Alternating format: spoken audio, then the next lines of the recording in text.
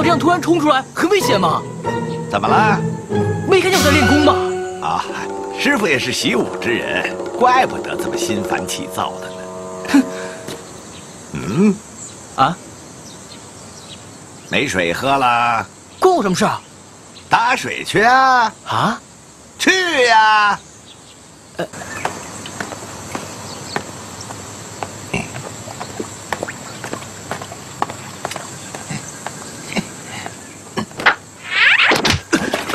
Thank you.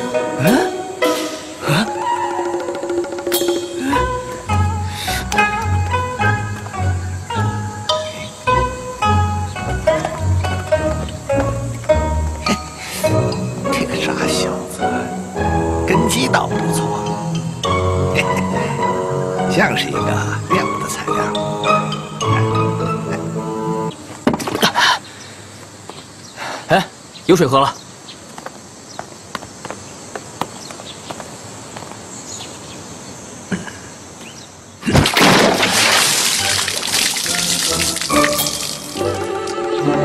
阿奎，怎么没水了？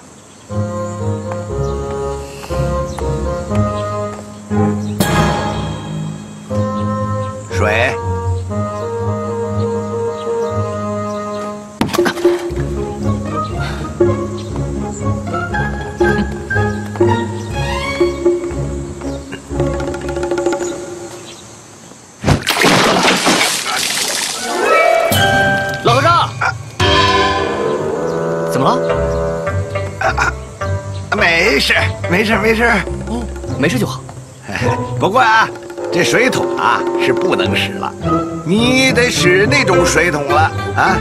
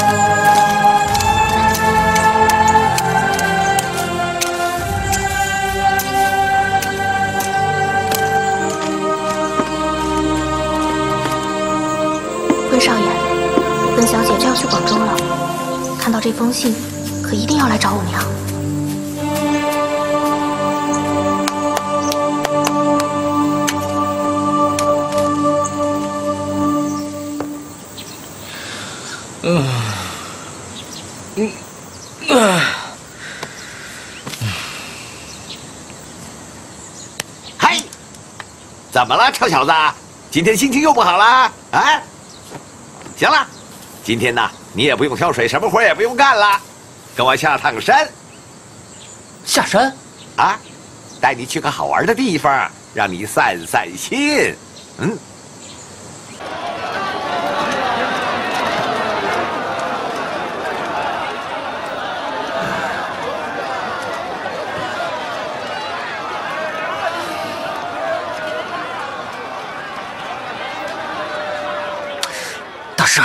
你不是说带我去好玩的地方吗？是啊，这儿不好玩吗？哎，这是要饭吧？什么是要饭呢？哎，这是化缘，什么都不懂，哼，丢死人了！哎，我们什么时候回去啊？什么时候回去？你什么时候化到吃时，你就可以回去了。呦呦呦呦呦！你你还脸红了你啊？你是不是觉得你很高贵呀？啊！我告诉你说，你今天话不到时，你就不用回寺了。哼！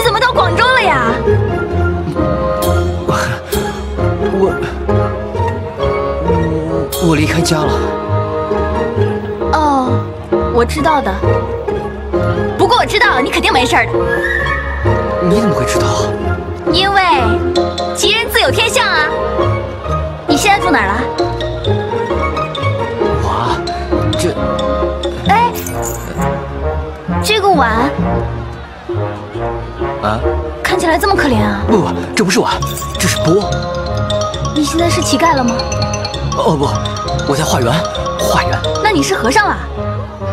也不是，不是。但是，对啊，你有头发，那你还是乞丐了？我不不不，这件这件事我得给你解释一下。其实梁坤，你不用解释了。其实我什么都懂，不管你怎么样，我都一定会帮你的。你说你需要什么，我一定会帮你。你说吧啊你！想多了，我一定要向你解释，我找个人向你解释啊。哎梁坤，你不用解释，我相信你。哎不不不，我必须解释。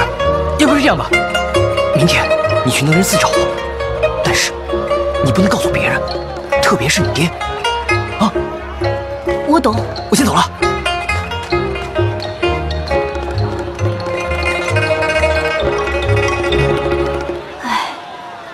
太不容易了。可是还说去化缘，明明就是回自己偷懒。哎，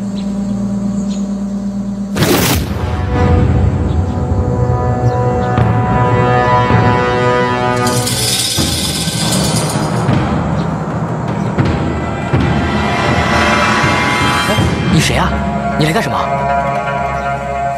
喂，你来出家吗？杀人！杀人？人呢？人呢？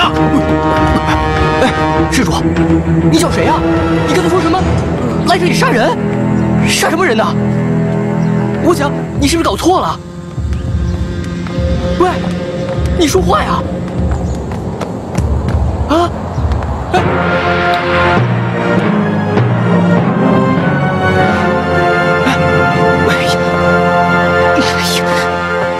说，这里是能人寺，没什么人，就我跟一个老头在这里住，你会不会找错人了？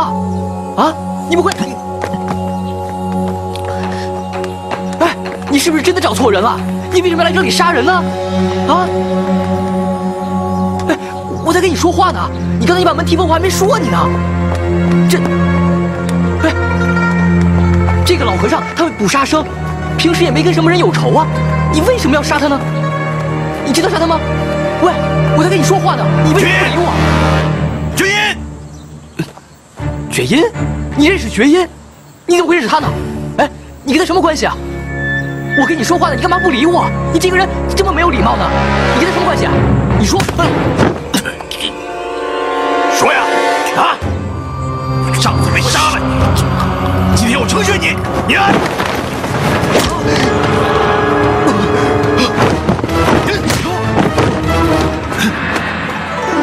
头，干嘛乱打人啊？哦，又来了一个，成了，两个一起上。我可从来不欺负老人家的，正是你逼我的。梁坤，给你带的吃的，啊，这，以后别去要饭了。呃，不是我，我懂的。可是嘿呀，嘿呀！你没事吧？你怎么不跟我说这个老头这么厉害？这我别说了，我懂的。呀呀，嘿呀！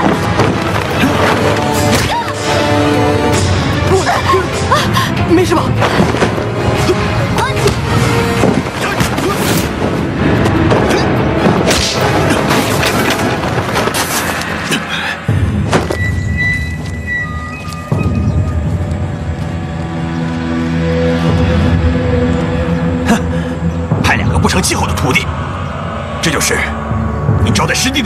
师弟，原来你们是小罗总。原来会功夫，和尚加油！和尚加油！两个都是和尚，胡子和尚加油！胡子和尚加油！胡子和尚加油！胡子和尚加油！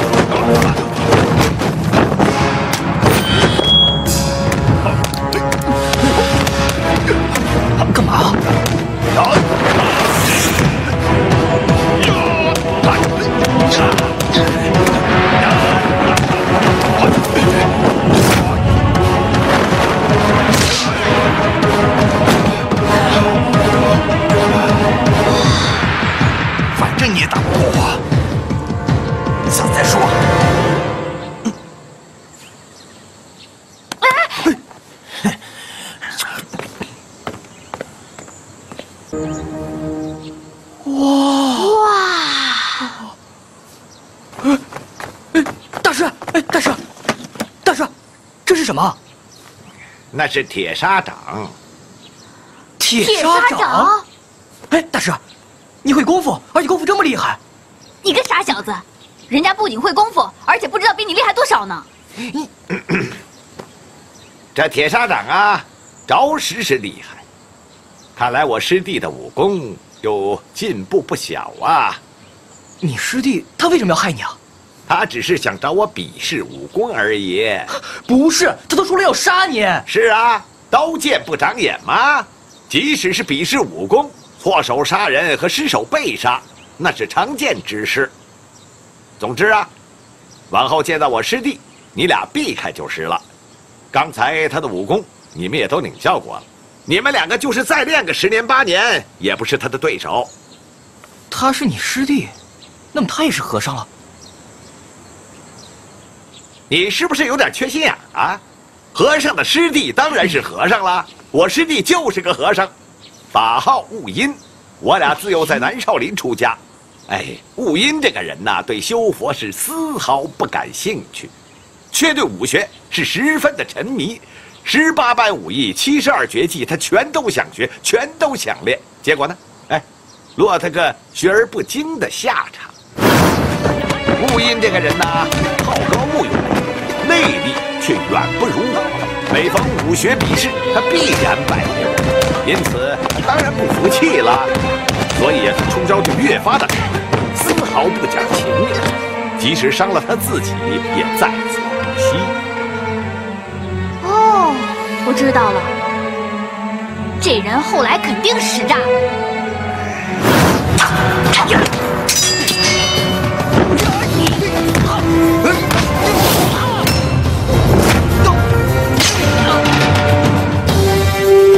我爹从小行走江湖，他告诉过我，这世上有三种人最可怕：第一，不要钱的人；第二，不要脸的人；第三种就是不要命的人。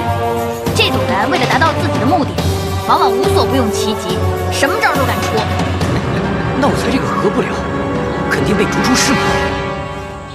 没错，悟阴在后来的比试中使用他自制的暗器，掌门将他逐出了少林。他还俗以后就叫合不了。他还仍然上山拜师学艺，每逢有所长进，必然再度回山找我比试。就这样，我们俩就过了这么多年呐。嘿，这个合不了，也太狠了。不要小看这仇恨的力量。只是，但凡仇恨者，必先自毁。好了，刚才呀、我们俩打也打了，你们俩呢看也看了，现在啊，做饭去。嗯我饿了。哼哦，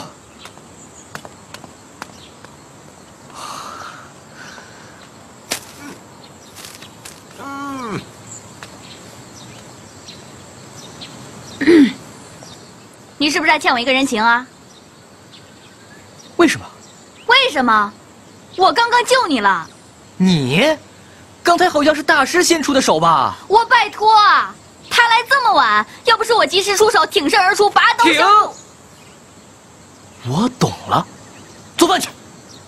哦，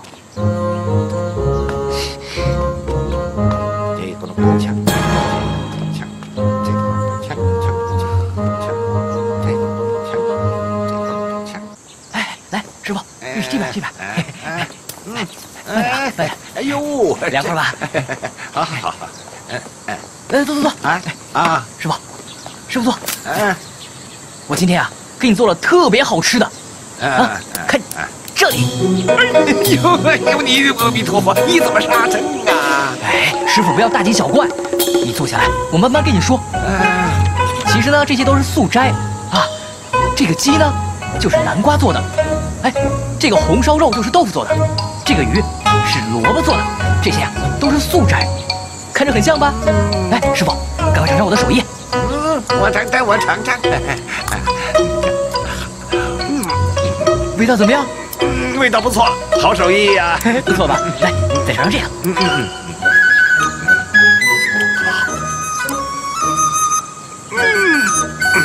你还别说啊，真有点红烧肉的味道。师傅，你知道红烧肉什么味道啊？哎没关系，没关系。来来来，师傅，请喝茶。师傅，师傅在上，受梁坤一拜，希望师傅能收我为徒。好啊，好啊，那，你愿意收我做徒弟？愿意教我功夫了？当然可以啦。啊，这么简单啊？也不用什么测试、考验、什么审核之类的。嗯，不用，你来了就是缘分。嗯，来，过来吃饭啊！来来，吃。缘分。嗯，哎，来吃鱼。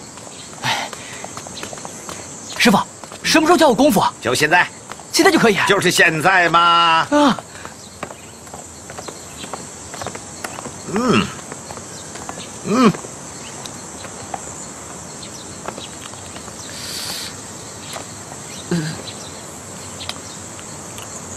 师傅，怎么练啊？怎么练？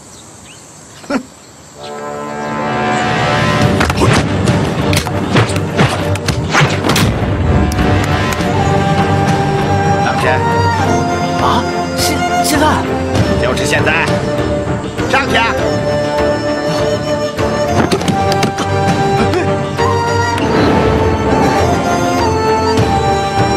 从小，我师傅就让我在泥路上翻扛抬背，我的马当然好了。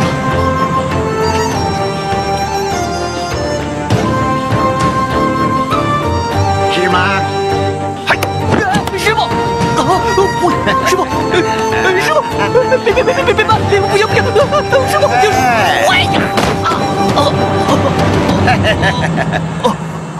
哎呀，你看我看看啊，我就这么轻轻一踢呢，你就摔的是嘴啃泥呀、你练的那种马步啊，在我面前耍什么嘴呀、啊？起来！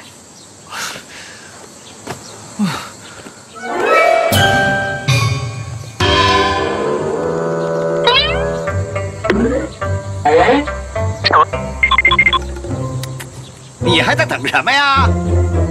我在等你传我功夫啊。你这个傻小子，你不把你原来会的打出来，我怎么知道你到什么程度啊？我怎么教你啊？好，那我就打一套先师教的伏虎拳给你瞧瞧。嗯，好。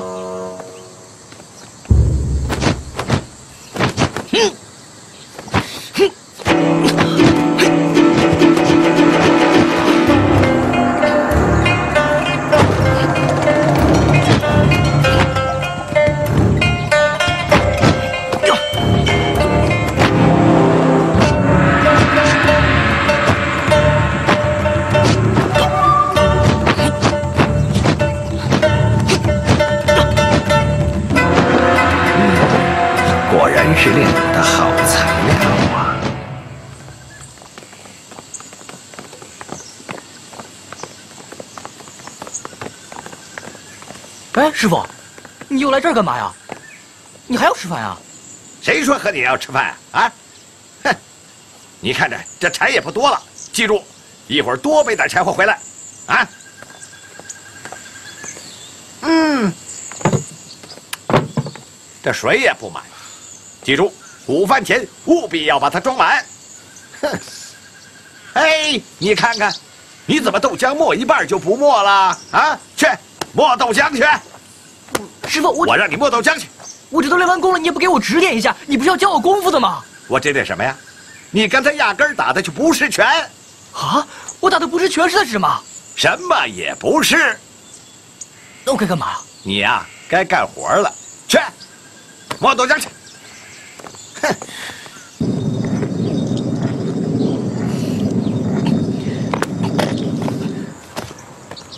忙着呢，哎，怎么又是你啊？怎么就不能是我了？这荒山野岭的，还有谁会来看你啊？这里是佛门清净之地，来这里的都是修身养性的，只有野猴子才会在这里跑来跑去的。我头一回听说，磨豆浆也算修身养性啊。哎，你别来打搅我就好了。我干完活，师傅才教我功夫。你想学功夫啊？那还不简单。你有办法？想学功夫，我教你呗。你算了吧。哎，我可是汇丰堂堂主的女儿，我教你功夫，你有什么不满意的？我没什么不满意的，只要你不来打搅我就好了。谁打搅你了？我是担心你才过来看你的。哎，我说安娜小姐，快回家吧，不然你爸该骂你了。快走吧。我爹在码头帮孙师伯的忙，才没时间管我呢。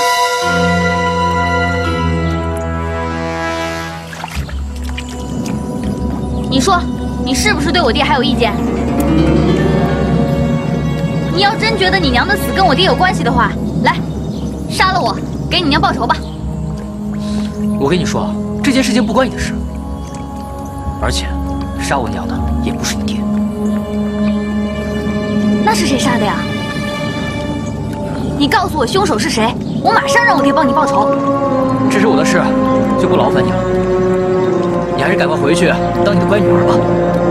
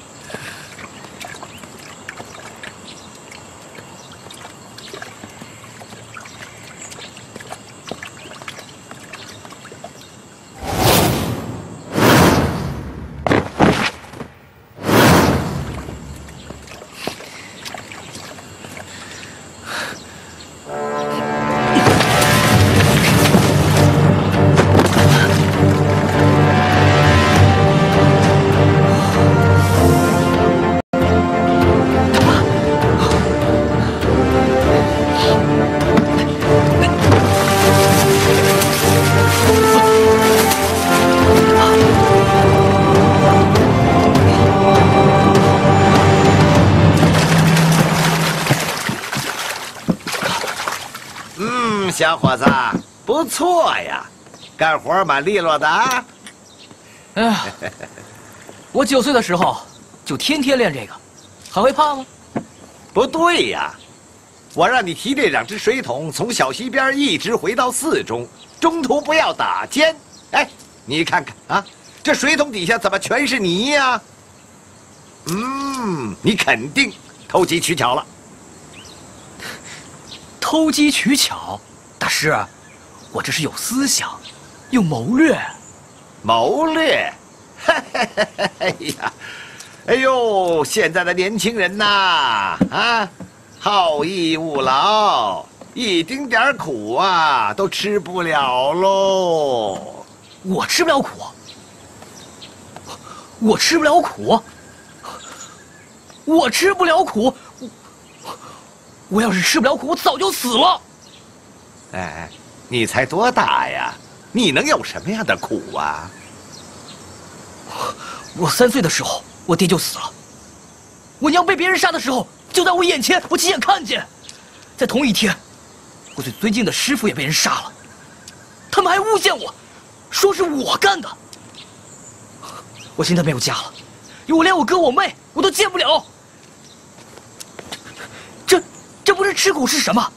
我天天在这，大师，我容易吗？我，你本来就是一个人来，最终也会一个人走。哎，师傅，你现在说这有什么用啊？你说那么多废话干什么？啊？那你想怎么样？我，我当然想报仇了。报仇？好啊，去吧。我现在。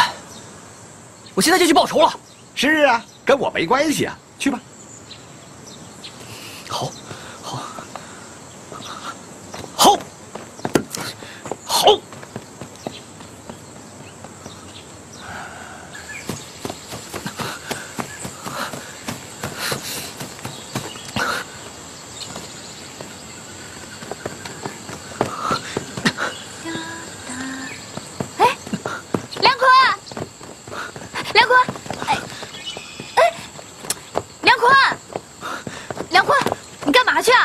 我下山报仇，报仇你找谁啊？孙腾蛟。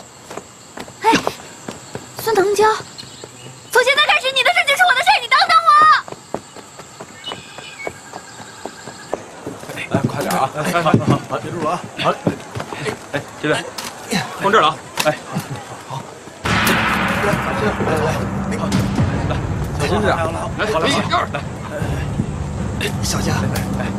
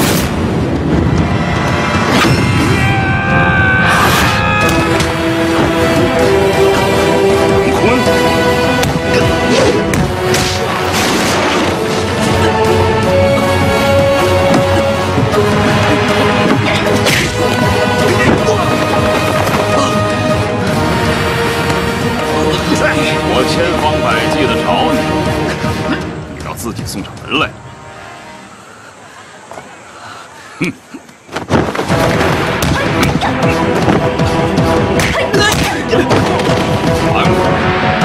干什么？废话，我来救你啊！我报仇不需要你救我。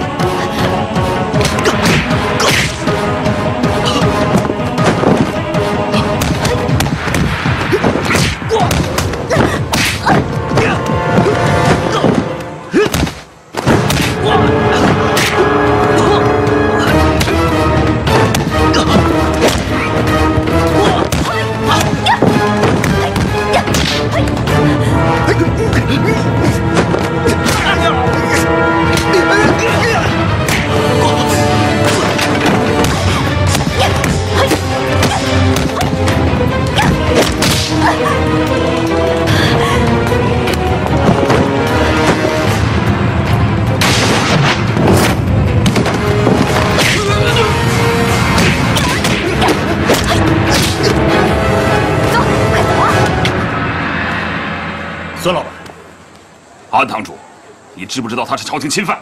我不管他是什么犯，我今天必须让我女儿安全的离开这里。安兄，您误会了，是您闺女打我，不是我打她。呃，如果小女多有得罪，今天请给安某一点薄面，放过他们吧。你啊，不好意思，改天一定登门谢罪。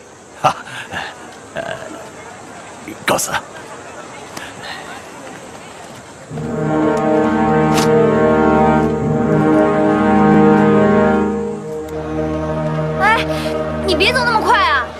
别跑那么快！哎呀，你别走那么快！你走那么快干嘛？喂，你别跟着我了！我救了你，你对我大呼小叫的。我不需要你救。我不救你，你就被打死了。看你伤成这个样子，没爹没娘的，我不照顾你，谁照顾你啊？我能自己照顾自己。怎么了？在吵架吗？我再也不管你了。哼！阿弥陀佛，师傅。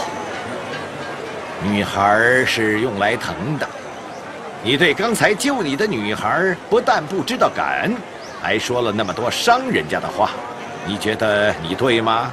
嗯。可杀不了松藤娇，我心里过不去。哼！报仇报仇，你只想着报仇，怎么样？现在你知道报仇不是件容易的事情了吧？啊？你跟我来。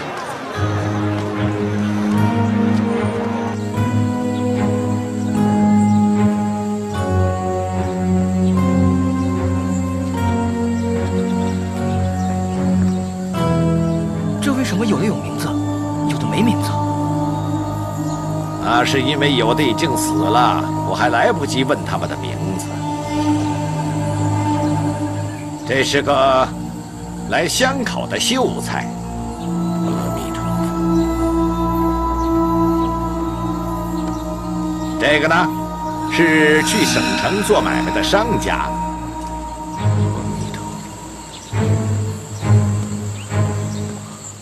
这个是扶老携幼来郊游的一家人，他们都是被山贼劫杀、曝尸荒野。这些人呢，有的目不识丁，有的饱读诗书，有的一贫如洗。有的腰缠万贯，最后殊途同归，都埋在这里。你说他们是乐还是苦啊？死的这么惨，这么可怜，当然是苦了。哼，他们知道苦吗？死都死了，应该不知道吧？既然不知道。又怎么会苦呢？我我觉得他们苦。你觉得他们死得很苦，可是你呢？你还好好活着，怎么会苦呢？本从空无来，还归空无去，万象。皆因果，处处见菩提。阿弥陀佛。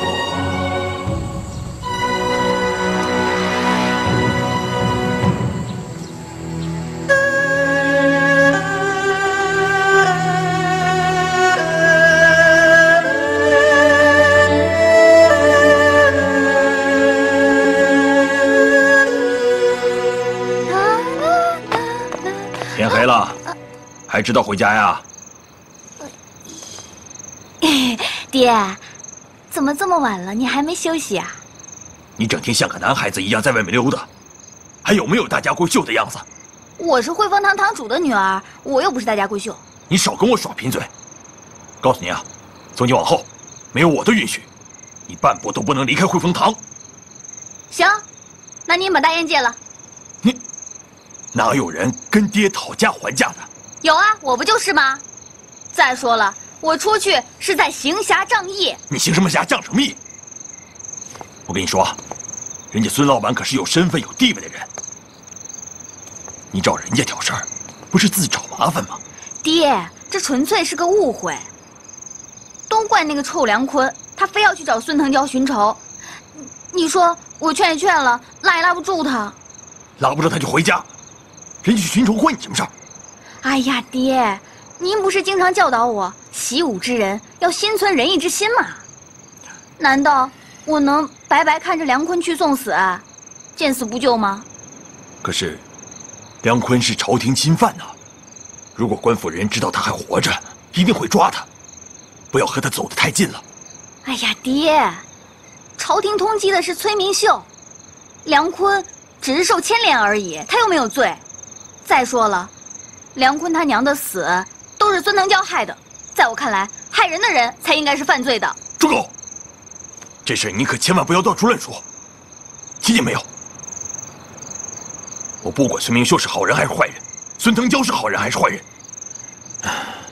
那都是孙家和梁家的恩怨，跟我们一点关系都没有，知道吗？哦，赶紧睡吧。哎，把凳子给爹拿进来哦，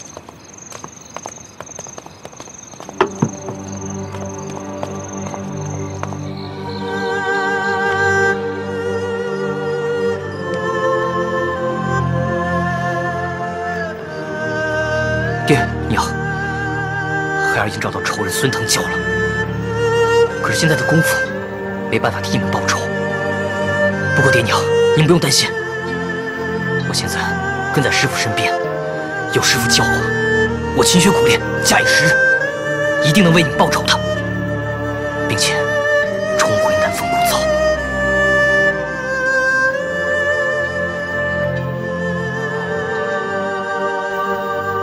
请老爷放心。小的已经加派人手寻找梁坤的下落。不管怎么样，一定要给我盯住那个安姑娘。她能带我们找到梁坤和慈普。小的知道该怎么做。哎，师傅，嗯，吃饭。嗯啊啊！哎哎。哎，师傅，我跟你说啊。我今天做的特别用心，哦，嗯，肯定好吃。啊，哎，哎，哎，师傅，多吃点啊。嗯嗯。师傅怎么样？嗯嗯。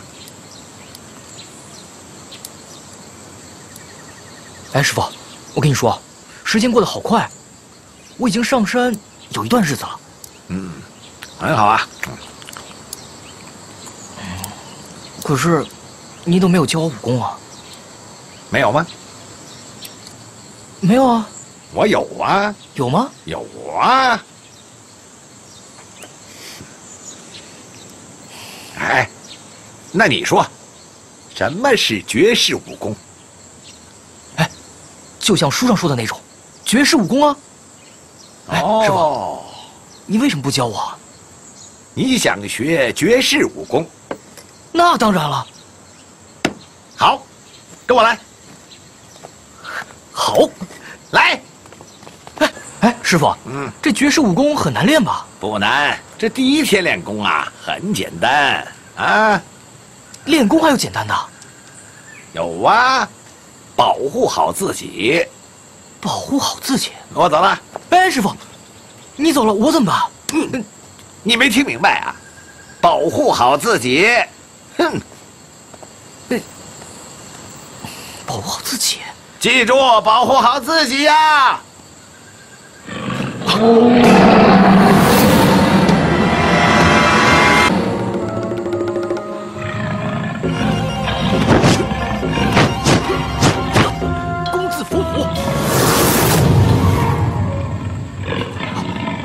伏虎拳。我练伏虎拳。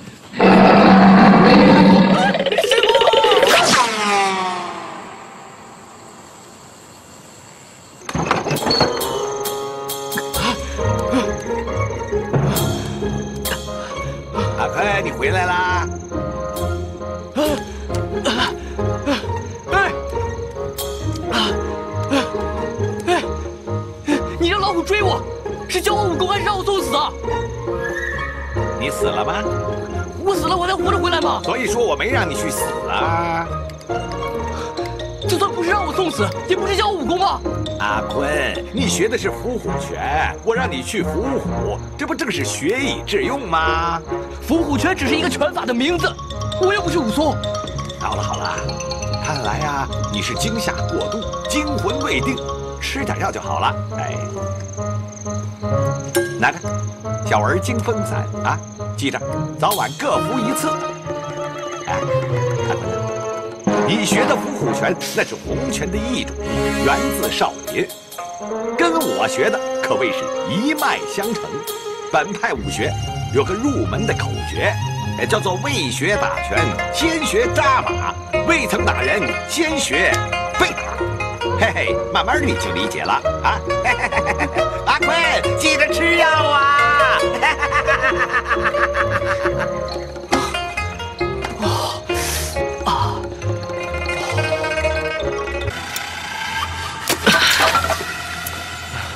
阿坤呐，干嘛呀，师傅？今天呢，咱们俩不能再这样玩了。哎，你今天是不是心情不大好啊？没有啊，一直不都这样吗？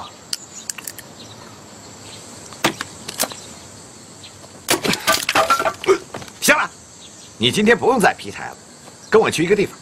带你散散心去。去哪儿啊？到了你就知道了。来，来来来来来来来来。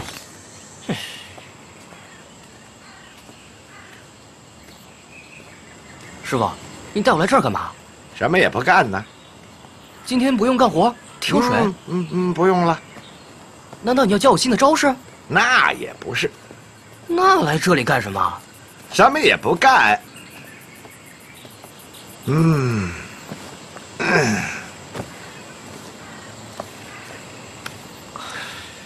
闭上眼睛。你又要整我？你怎么把老衲想的这么坏呀？啊，这样，我答应，一定不打你啊。出家人不打诳语，说不打就不打啊。闭上眼睛。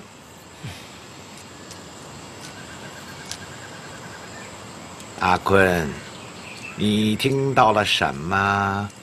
你说话啊。还有的。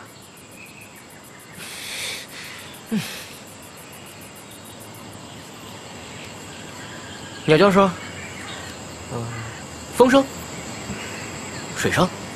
那些都是外在的东西，你能够听见你自己吗？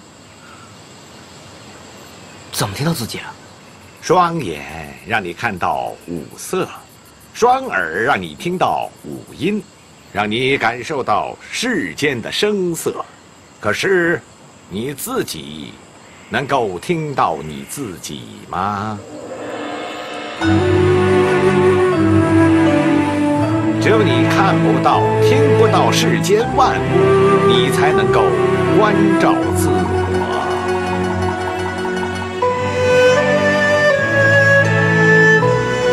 关照自我，关照自我。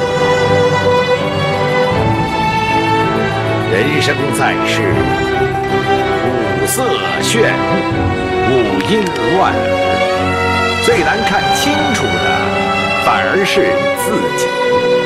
你能够看到、听到万件事，你却看不到你自己。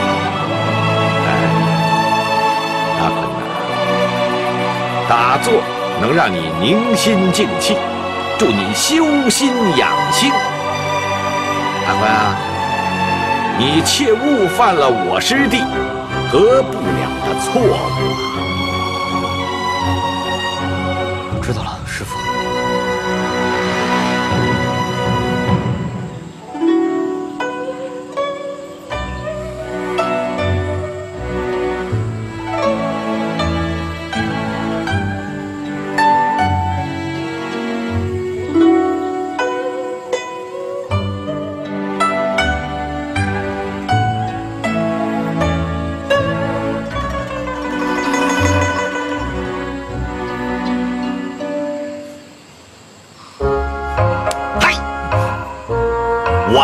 打坐，不是让你来睡觉的。要是打坐就是睡觉，我何必一开始不让你睡觉，非让你来打坐呢？啊！继续。哼！哎呀！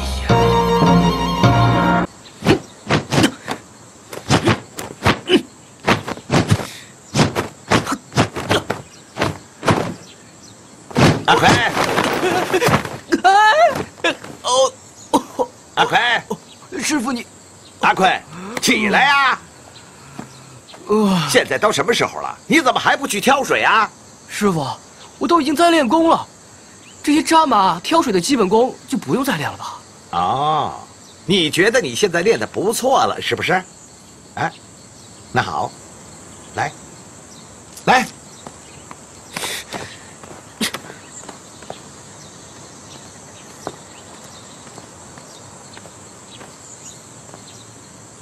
你现在挺直身子，用力向木桩拍一掌。现在，你再试试，扎稳马步，借助马步的前冲力，再向木桩拍去一掌。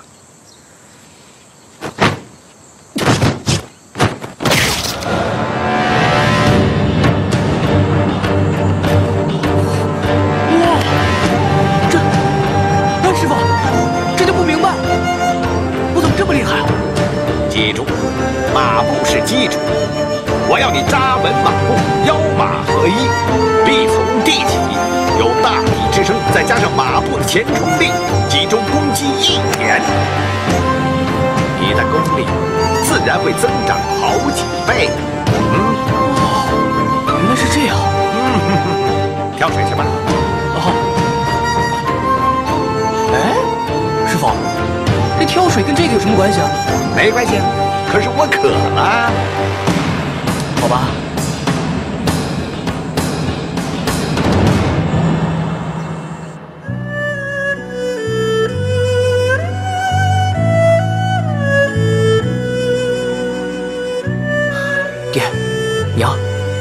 孩儿现在每天不是练功就是干活，身体比以前好多了。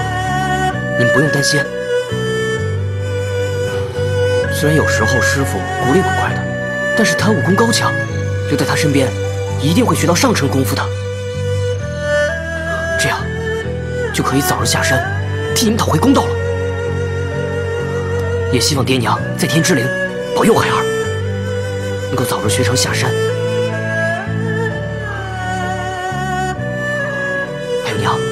今天是你的忌日，孩儿特地给你准备了你喜欢吃的鸡腿。哎，爹，你也一块吃吧，啊！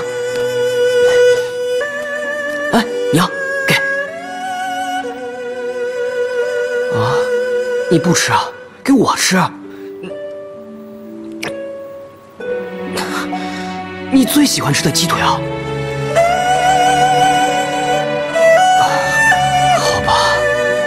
我也好久没有和爹娘一块吃饭了。那咱们今天一块吃饭啊？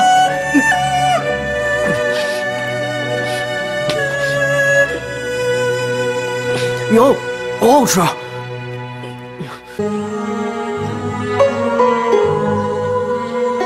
师傅，我想了很久，我越来越喜欢山里的日子。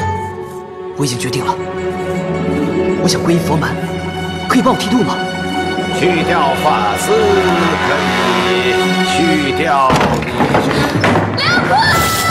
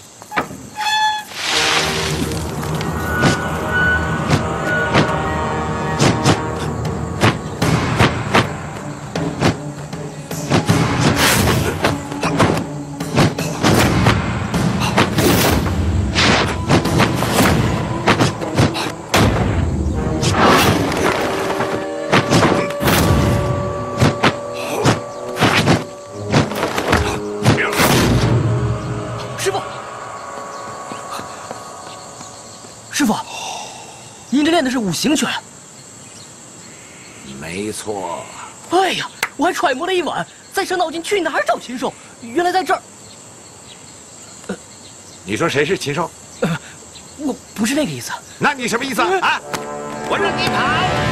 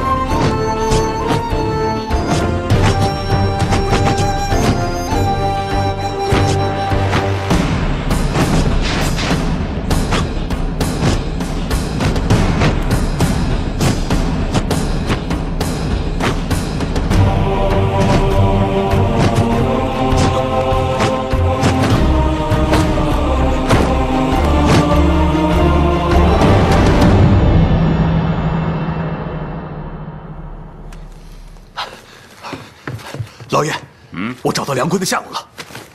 什么？他就在白云山上的能人寺里。那还等什么？赶紧召集人手，跟我上山！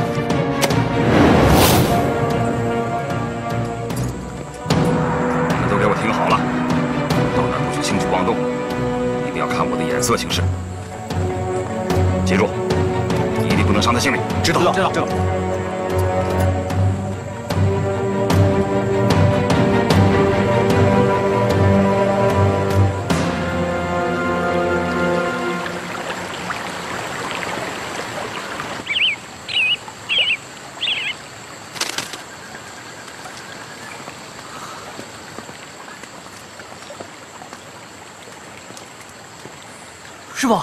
我们来这儿干什么？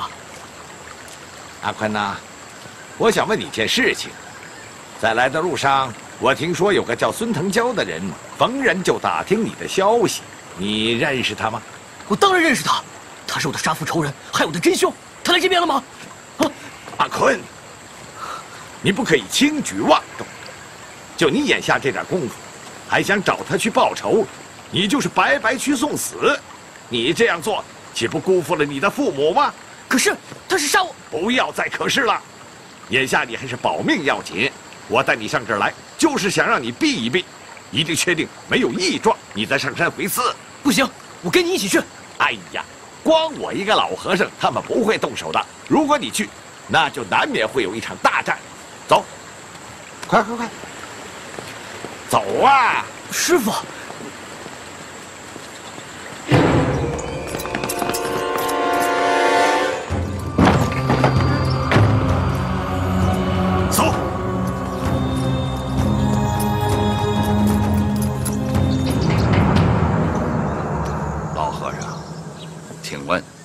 你这个寺庙来没来过一个叫梁坤的？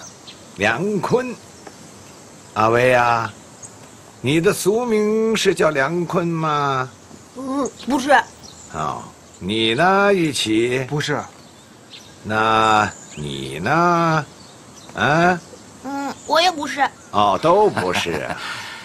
老和尚，你就不要再跟我演戏了。我手下要是搜出来，我可就不是这个态度跟你。说话了。老爷，我们搜过了，除了他们几个，确实没有其他人了。连衣物和杂物都没有吗？是的，真没有。啊，出家人不打诳语。上！你干嘛？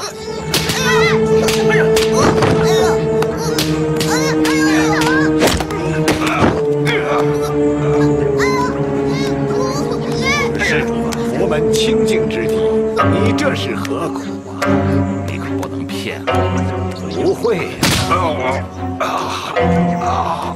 师傅，你为什么不出手？师傅想出手，他出手比师傅快呀。你确定是能人死吗？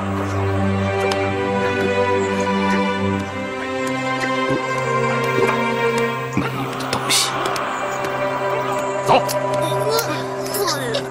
这次饶了你，老东西！啊师傅，师傅，好疼啊！师傅，阿弥陀佛。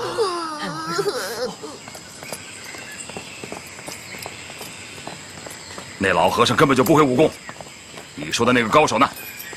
哎呀，这这梁坤他逃走的那天晚上，真的是月黑风高啊！但是我确实看见有个光头和尚把他给救走了。你蠢货！你哎，哪个和尚不是光头啊？哎，没用的东西，走！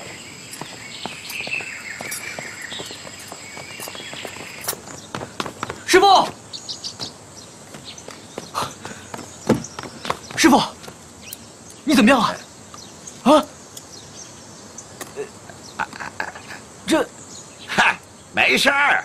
嘿嘿嘿，孙腾蛟的武功啊，比我师弟差远了。哎，那这三位是？哦，哎，这个是新来的俗家弟子，这两个小沙弥呢是华云寺来的，住持让他们过来跟我学习的。哎，想不到头一天就差点，哎呀，痛得要死。哎，你们知道为何陀佛让我们供香吗？嗯，不知道。那是因为燃香时香自灭而留香与人，檀香将己香传给他人，却忘却自己，这就是陀佛教导我们舍己为人的精神。你也被打了。我我我这是舍己为人啊，舍己为人吗？我是学佛的，我也是学武的，怎么被人打呢？哎，那两位，告诉他们那三个小师弟，本派武功入门口诀是什么？为学打拳，先学扎马；为学打人，先学挨打呗。嗯，先学挨打。哎，嘿嘿都听明白了吗？啊，今天就是你们入门的第一课啊，学习挨打，挨打，挨打。哎呦，哎呀，三位小师弟，杨坤对不起你们，实在对不起。我一定早日学好武功，下山去找孙腾江报仇。哎，当初我收你为徒，是看在你是一个练武的奇才，我这才打破不传武功的原则。可是面对今天的事，你却仍然不珍惜那些人所为你做的牺牲，却一心想着习武报仇，你岂不是辜负了他们？冤冤相报何时了？我只想，你能透过学武，在武德中修习心性，放下那颗复仇的心，如同那些为你付出牺牲的人，你的父母，还有三个替你挨打的小师弟，他们从来都不对你所求回报。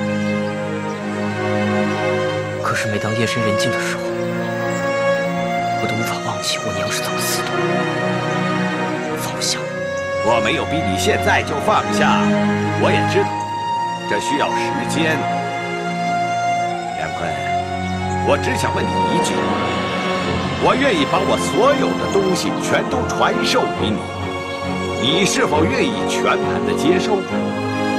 不管是武功，还是这里。只要你愿意教，我什么都听你的。我也愿意，我也愿意，我也愿意，愿意，愿意，愿意，都愿意，愿意，愿意。那好，吃饭啊，吃饭啊，吃饭吃饭。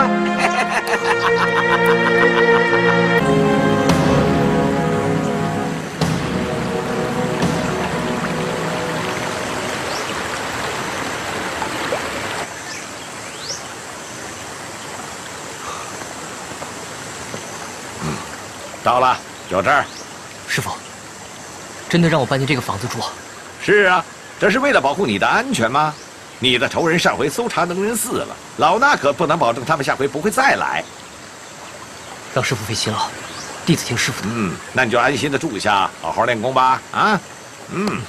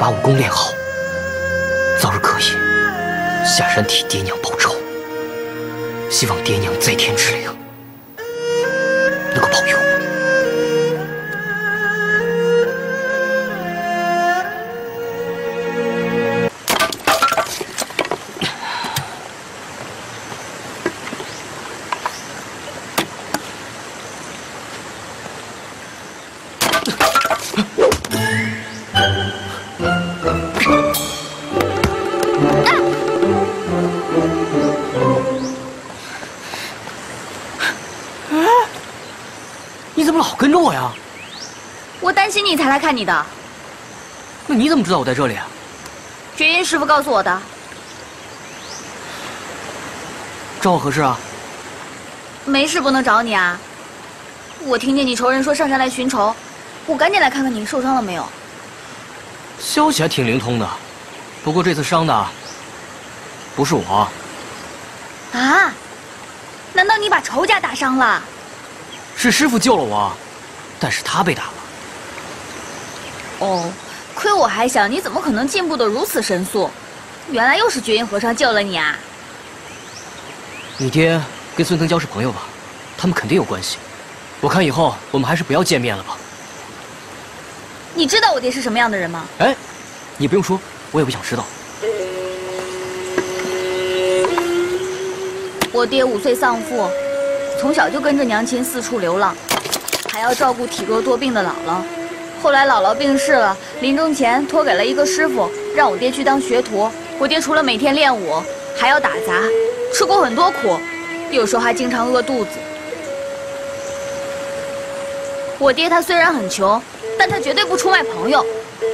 日子虽然苦，但绝不灰心丧志。而且他为人仗义，最后跟他的人越来越多，后来就在码头落脚了。你怎么知道？我当然知道了。我从小跟着我爹闯荡江湖这么多年，好几次我都亲眼看到的。我爹虽然不是什么好人，但他绝对不是坏人。嗯，说得好。哎，师傅，师傅，世间之上哪有什么绝对的好人、绝对的坏人呐？啊，连和尚都明白，你都不明白。哎安姑娘，安姑娘，你还傻站着干什么？还不快去追呀！不追。这么好的姑娘你不追，为什么？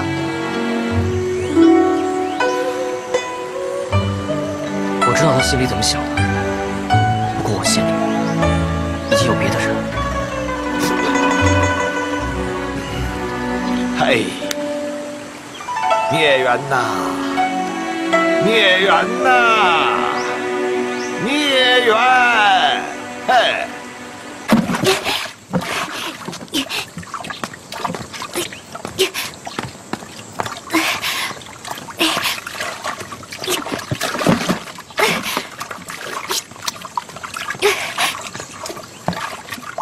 哎呀，安姑娘，你这是何苦啊？军师傅，梁坤现在不在这儿了，也没人给您挑水了吧？以后我帮您挑水。哎，姑娘，你不必如此啊！来，哎哎。那您就给我剃度吧，就让我青灯沐鱼，了此残生，这样我就可以在这儿留下来帮您帮您干活了。姑娘，你有没有想过，也许放下能让你得到真正的快乐？我，我，我就是想让那个大笨蛋知道，我爹不是他想的那样的。而且你还想知道。他虽然已经无父无母，可是在这个世界上，仍然有一个人，始终在关心着他。嗯，绝音师傅，那您真的不能让我留下吗？姑娘，你要走是你的决定，不过你要留下来也是你的决定。万物唯心，我和梁坤。可不能左右你啊！啊，那我留下，我以后就帮帮。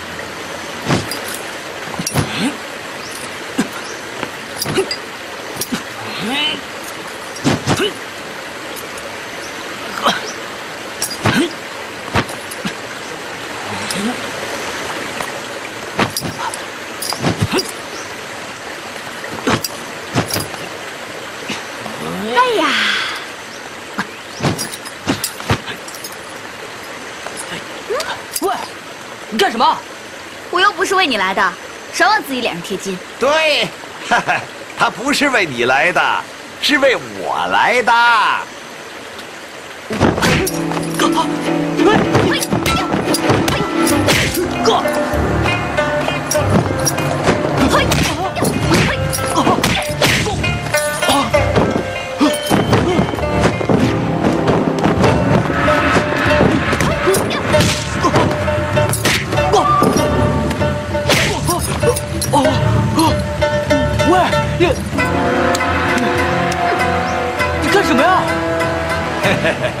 阿弥陀佛，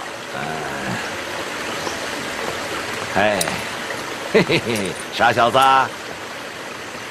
光顾着挨打了吧？在这个过程中，你有没有看清楚安姑娘的拳法和拳路？挡都来不及了，怎么看清楚啊？哎，那是因为一开始你就不懂得如何去观察对方的攻击方式，只想着一味的攻击敌人，看人家出手你就想出手。人家踢脚你就踢脚，如果人家手脚连用，无怪乎你就无法应对。嗯，哦，明白了，师傅。啊，明白了，那就继续练。嗯，哎，不过这回啊，不许你出拳，只许你仔仔细细观察安姑娘的拳法漏洞。啊，那我岂不是站着让人打？嗯，自个儿保护自个儿吧。哎，师傅。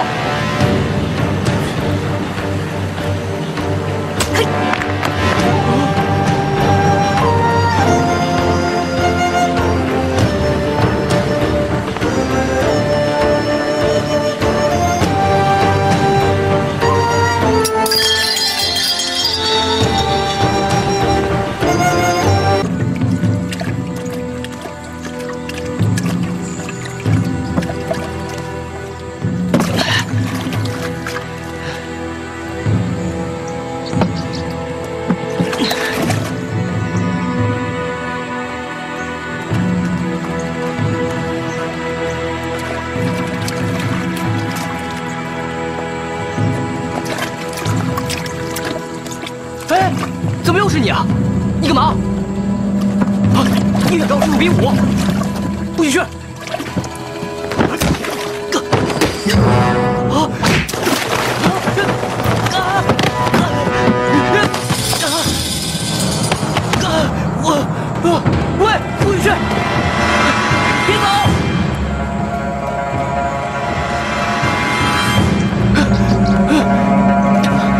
别走！师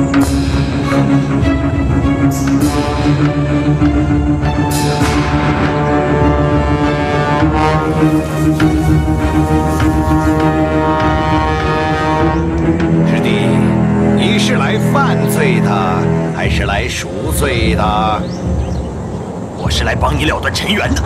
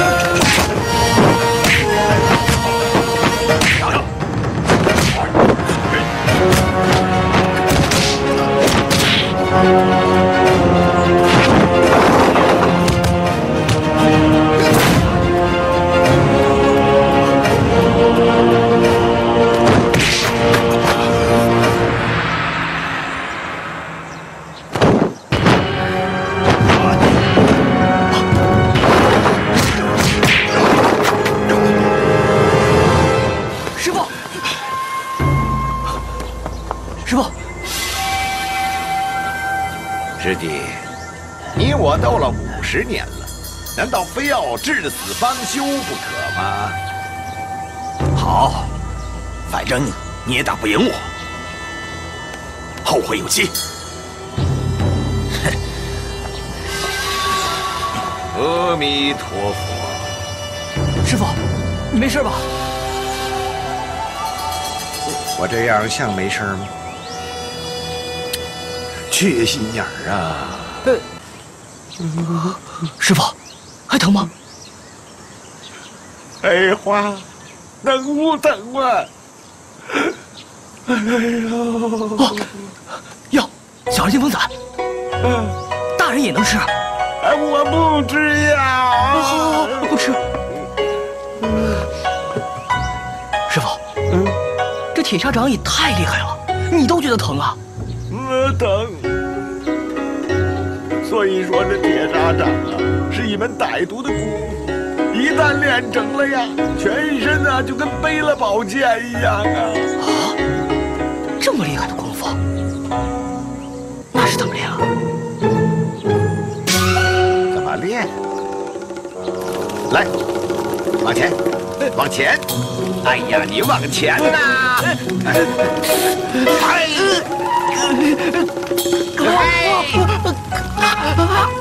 哎呀！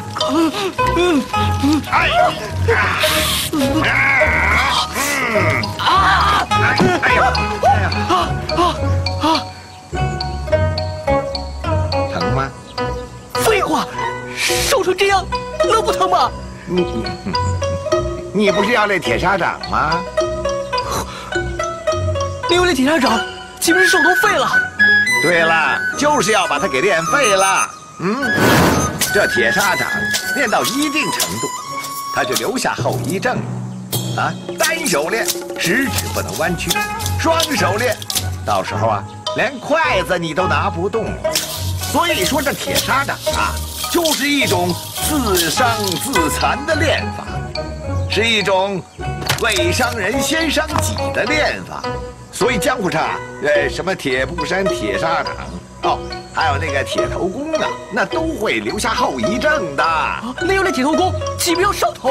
哎，那倒不用。哎，不过这铁头功要是练多了吧，他人就会变笨。哎，你还别说，你小子最适合练铁头功了。嗯，你笨呢？你太笨了，你太笨了！师傅，你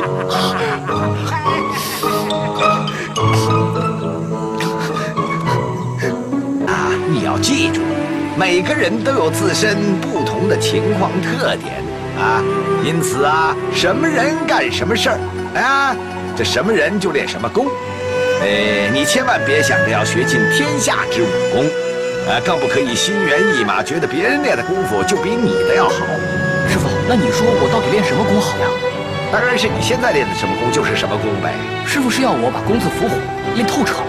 嗯，还别小看这公子伏虎拳，你要练到融会贯通，就凭这一招一式，也能成为高手。其实世间所谓的高手，是在于武功的深度，而非广泛呐。那要练到什么程度才能算是天下无敌呢？你认为什么是天下无敌？当然是打败所有的高手，就像师傅一样。阿坤呐，你要记住，这世上根本没有什么天下无敌的功夫，只有一颗心。只要你有一颗仁爱的心，你就是天下无敌。好好学吧，啊！梁坤，绝音大师。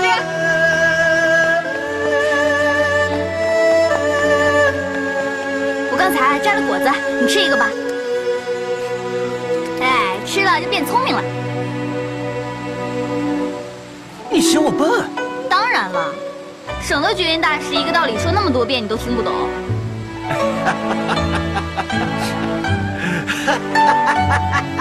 来，多吃点。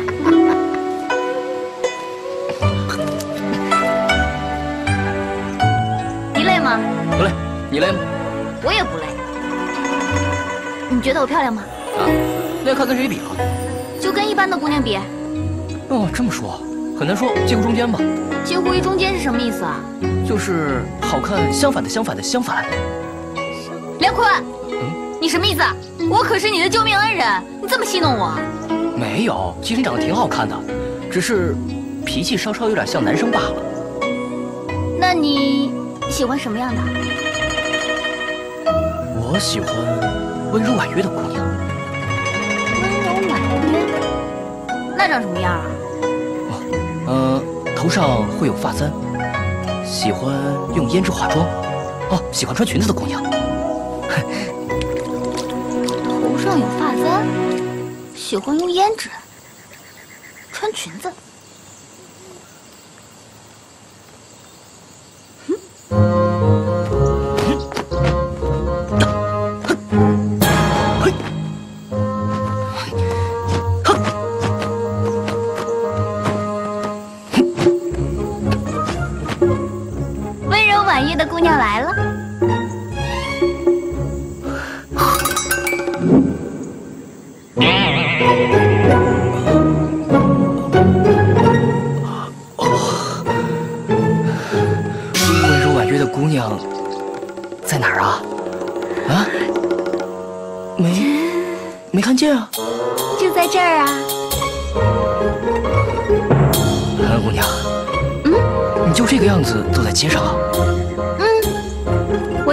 在街上的时候，很多人看我呢。我还在想，我有那么漂亮吗？安姑娘，你真的是勇气可嘉，你居然敢这个样子在街上游荡啊！勇气可嘉，游荡。梁坤，你什么意思？没什么意思啊，只是我喜欢的女孩子的确是这个样子打扮的，可是怎么觉得怪怪的呢？来，别动啊，我看看，来转一圈啊，来来，再转一圈。你看，这该有的都有了，怎么完全不对劲呢？哦，我知道了，你们两个就是完全不同的两个人。谁？他是谁啊？他当然是跟我一起在南风古灶从小长大的师妹了。她说话轻声细语，琴棋书画样样精通。我觉得你想要跟她比啊，恐怕是太难了。嗯，不如这样，我有她的画像，要不然我回去拿来给你看看如何？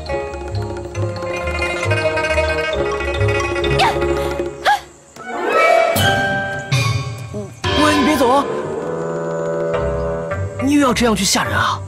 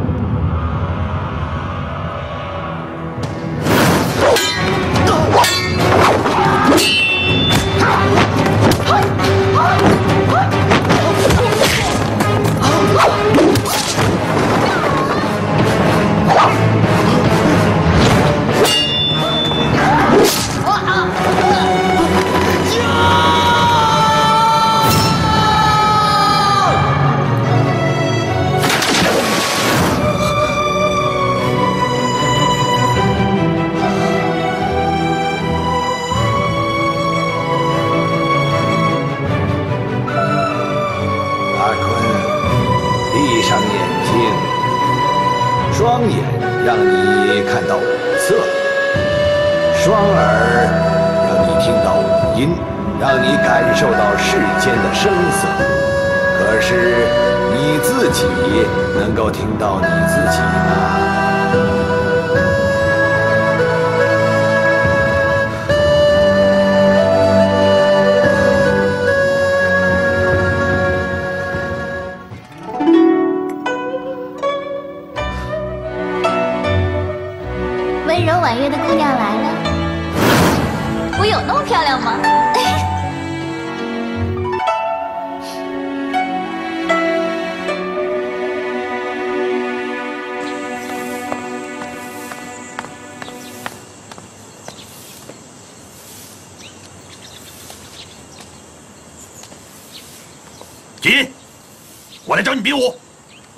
知道了，你等我把地扫完吧。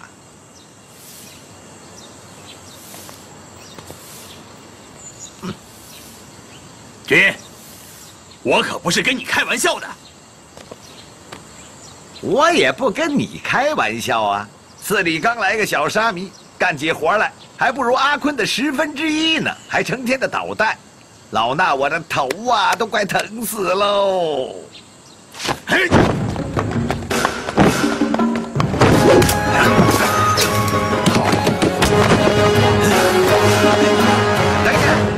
让我歇会儿啊！没门儿，下来！哎呦，师弟呀，你说咱俩从五岁比武都快五十年了，你就不能找找别人吗？你怎么知道我没找过别人？可他们都不是我的对手啊！那你就是找错人了。总之，你以后别再来找我了，别再给我添麻烦了。哼又嫌我烦，又赢不了我。哎，你不如叫你那个徒儿，你把他叫到一块儿，你们俩打我一个，我这够有诚意的吧？哦，你是说阿坤呢？哎，人家早就下山了，那我就在这里等他。你别等，你也等不到他回来。那小子心气儿啊，可真高啊！他觉得我教不了他，不配做他师傅，下山呐、另寻高人去喽。哼，这小子还挺狂妄的啊！我虽觉得他算个练家子，却敢说你教不了他，哼，真是个大笑话。是啊，我还跟他说，你要是觉得我教不了你，你可以找我师弟何不了去教你啊。他可是武武武艺高强啊，尤其是铁砂掌，可以说是独步天下。哎，你猜他说什么？说什么？他说我教不了他，你就更教不了他了。哼你呀，教不了他，未必我教不了他。师弟呀，我知道你在想说什么，我劝你呀，别太费功夫了，他不可能认你为师。哎呦，可惜呀，这么一块练武的好材料啊！我还想把我平生的武学都教给他呢，谁想到啊，他这么狂妄！哎，师弟，你说，咱俩都这岁数了，还能再打五十年吗？到头来还不是尘归尘，土归土吗？尤其是你的铁砂掌啊，要是真的失了传，哎呦呀，我这一想到这儿啊，我这心里就疼啊！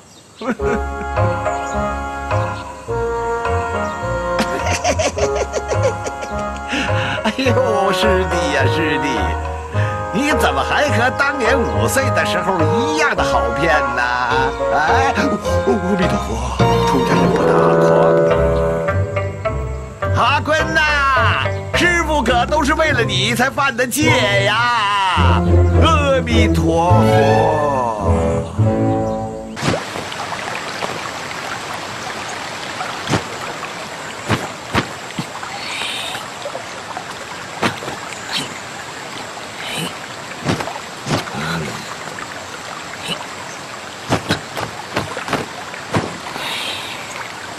扎文马步，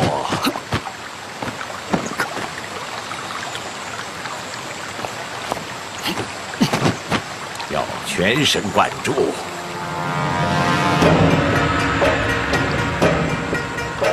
气沉丹田。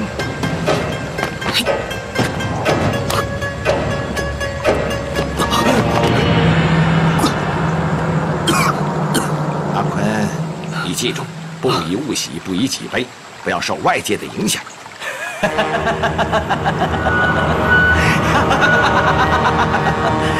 绝音啊，绝音！原来你们师徒二人躲在这里啊，这次我可不会手下留情的。师弟，眼下我徒儿在此，你是否可以保证不对他动手啊？你徒儿的武功不足以和我对抗。阿坤，一会儿不管发生任何情况，都不许你出手。那不行，我不能看着师傅被人打。哼，你师傅打不过我，因为他的功夫在我之下。要么你拜我为师，我可是真正天下第一。哼，你教不了我。你凭什么说我教不了你？你连我师傅都没有打赢过，怎么教我？哼，那我今天就让你看一看，我是怎么打赢你师傅的。口舌之快，成得了一时，却成不了一辈子。阿坤，你要记住，凡事做要比说来的重要。少啰嗦，快出手吧！呀呀！啊！哎，师弟呀，你这一出手便把我往死里打。假如一天我真的死了，你没了对手，到时候我看你怎么办？哼，哼，那我就到处打遍天下，找一个敢跟我拼死的对手。呀！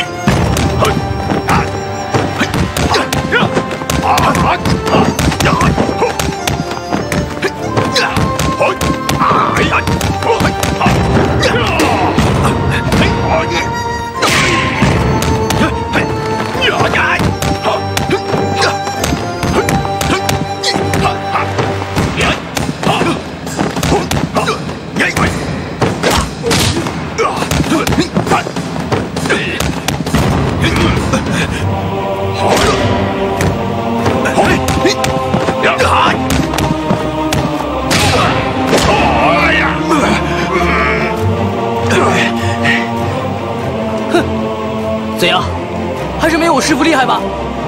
有拜你为师，我看这辈子你都打不过我师傅。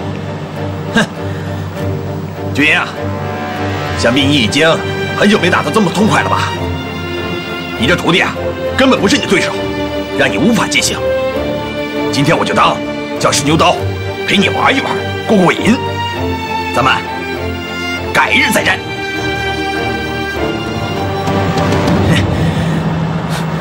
战什么？永远都打不过我师傅，还战呢？啊！师傅，你没事吧？你别吓我！啊！我这个师弟呀，每出一招都往死里打，老衲我的内力也只能顶得过几成。那怎么办？我背你回寺。哎呀，走！没事儿，没事儿啊。梁坤，绝云师傅，躲起来！杜捕头带人上山来抓你了。啊！绝云大师，你怎么了？没事儿，阿坤呐，你赶快跟安姑娘去躲一躲。不行，你受伤了，赶快走！我怎么能弃你不顾呢？这点伤对我来说算不了什么。你要是真被公安府抓走，到那个时候我是真的没法救你了。走，梁坤，赶紧走！绝云大师会照顾自己的，走。师傅，那你自己多小心！啊！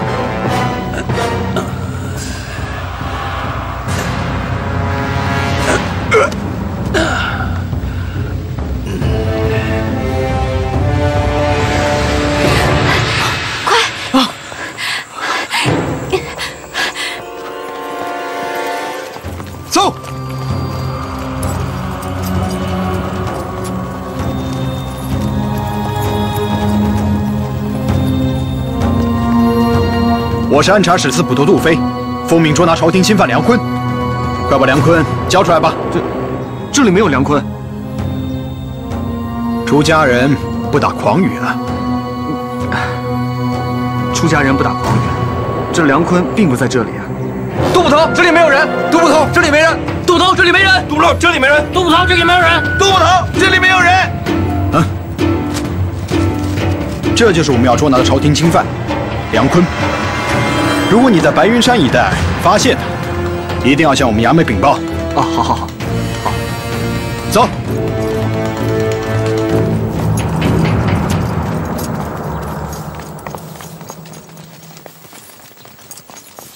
你刚打了诳语，你还说出家人不打诳语。出家人不打诳语，我又不是出家人，我是俗家弟子。嗨，嘿。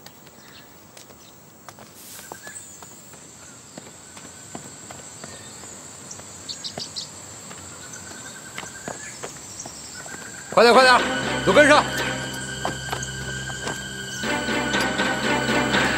哎呀，这这这，哎这这，是快点儿，去那边看看。哎，走走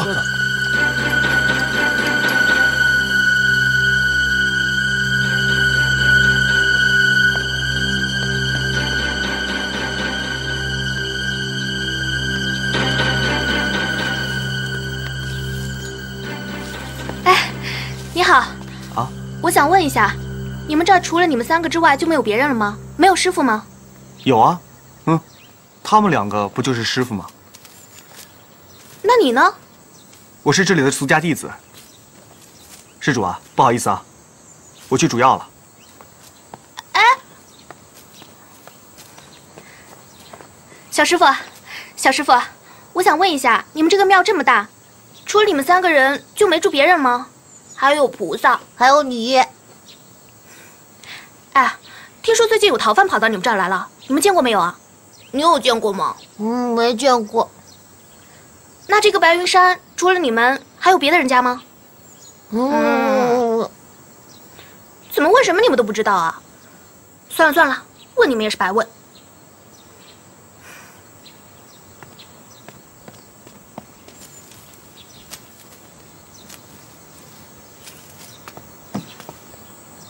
我看坤少爷肯定已经不在白云山了，要不然杜飞早找到他了，哪还轮得到我呢？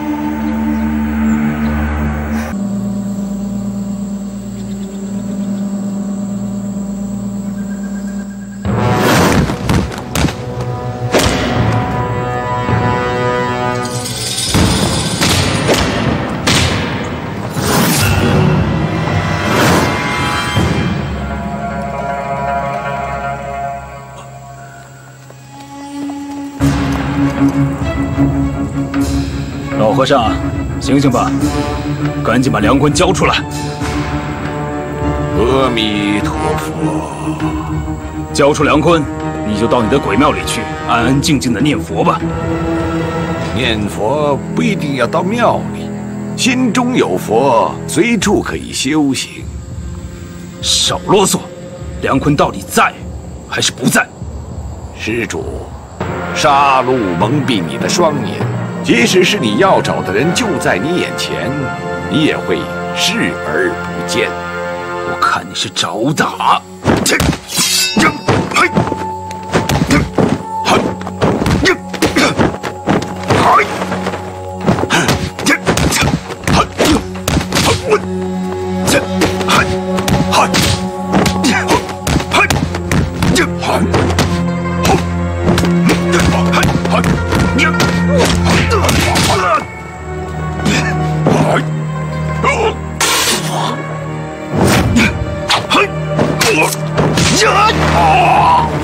死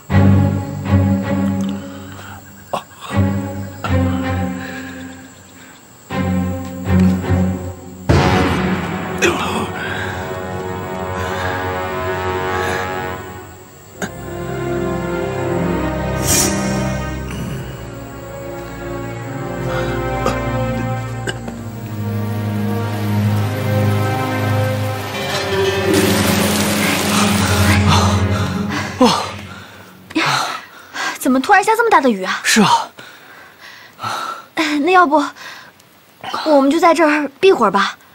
啊，哎呀，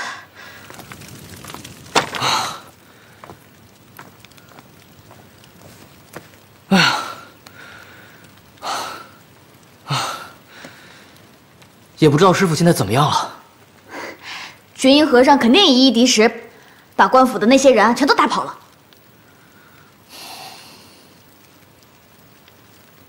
哎呀，你放心了，绝音师傅大智若愚，那些官府的人肯定打不过他。哎，你的脚怎么样了？疼着呢。来，我帮你看看。你你要干嘛？来，我看看。我可是跟师傅学过的。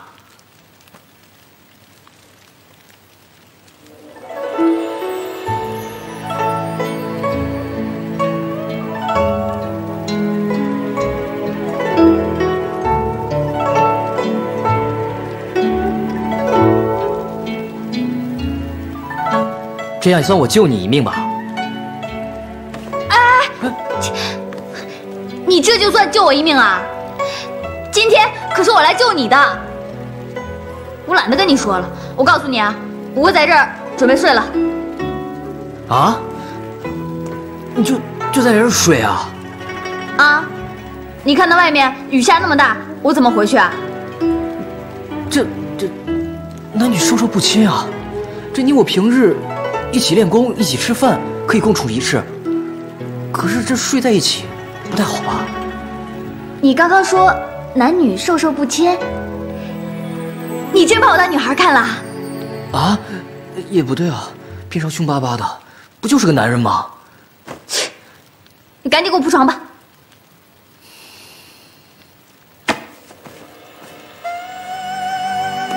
这是什么？刚刚你不是说男女授受不亲吗？我自己想了一想，你说的挺有道理的。所以呢，这个就是界限，你睡那边，我睡这边。你要敢过界，我一掌劈死你！好，睡吧。你也睡吧。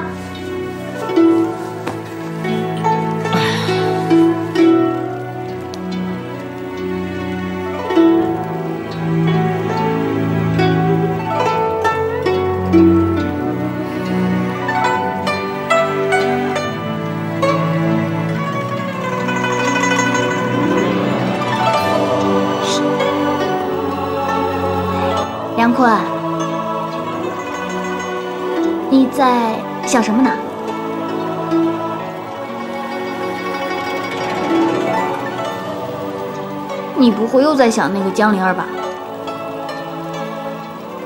哎，我跟你说话呢。哎，赶快睡吧。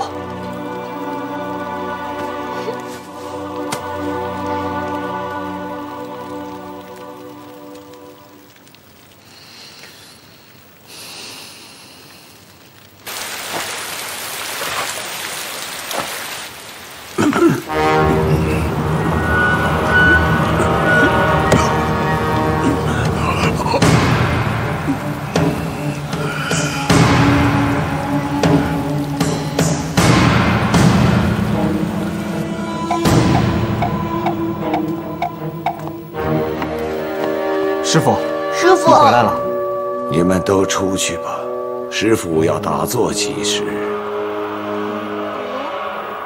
怎么连师傅的话都不听了？出去，是师傅。是师傅。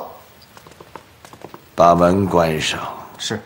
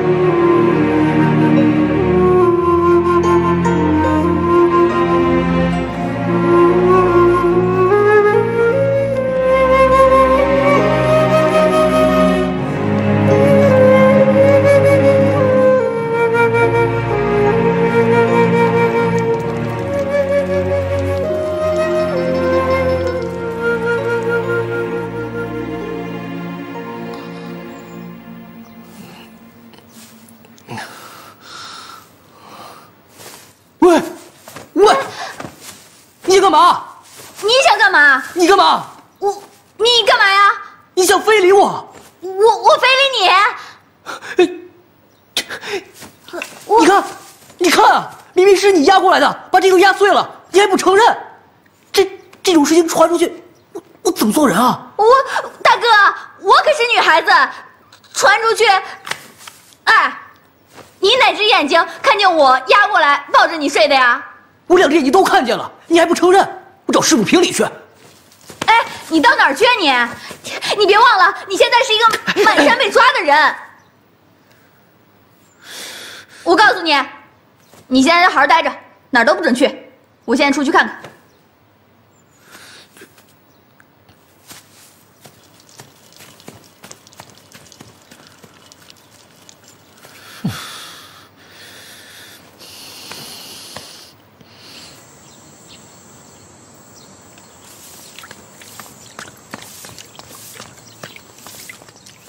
老和尚在吗？在里面。哦，呃，施主，师傅好像还在睡觉，你千万不要去吵醒他。哎呀，小和尚，我找老和尚有点事儿啊。呃姑娘，姑娘别进去，姑娘，别进去！站住！再敢拦我就……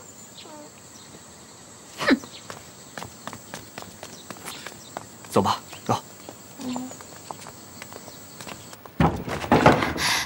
哎，觉音大师，你也太不讲义气了吧！打跑坏人，你也该派人来通知我们一声啊！你知不知道我和梁坤在外面过了一夜？哎，说话呀！觉音大师，觉音大师，大师，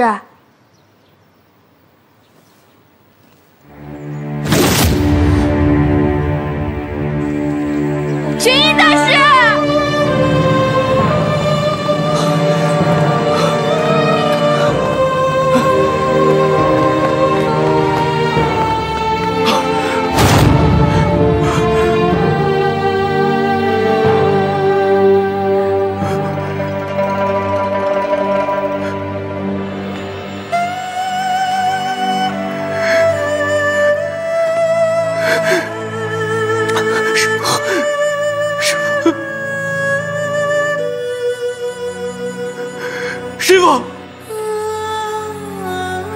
师傅，师傅，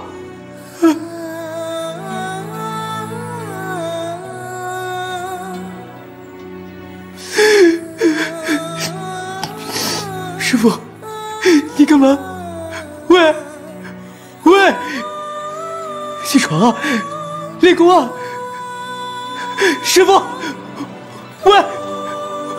我在这边练。啊，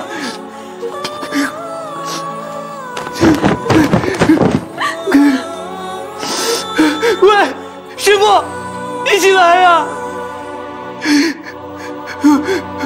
我现在，我现在下去找那个人报仇。你出不出来？你出不出来，师傅？我现在找那人报仇，你都不拦我。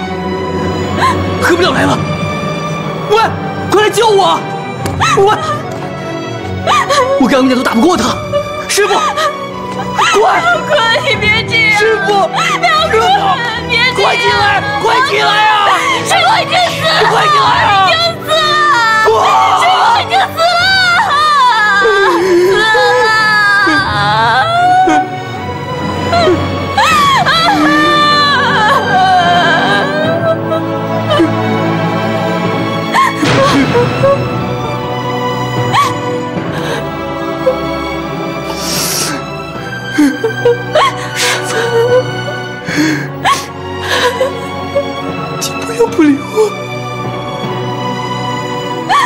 师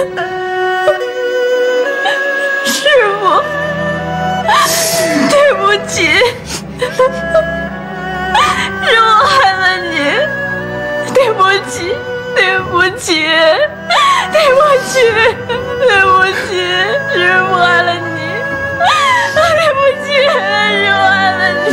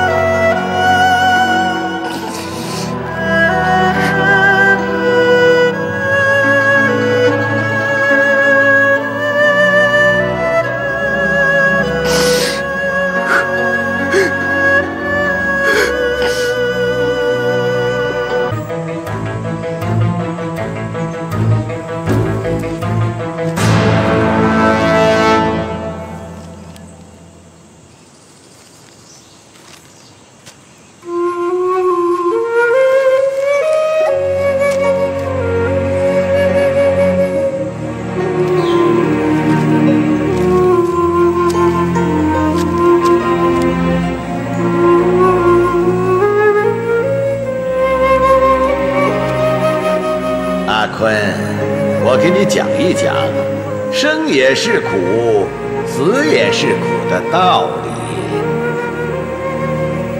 这为什么有的有名字，有的没名字？有的已经死了，我还来不及问他们的名字。这些人呐，有的目不识丁，有的饱读诗书，有的一贫如洗，有的腰缠万贯。最后，殊途同归，都埋葬在这里。本从空无来，还回空无去。万象皆因果，处处见菩提。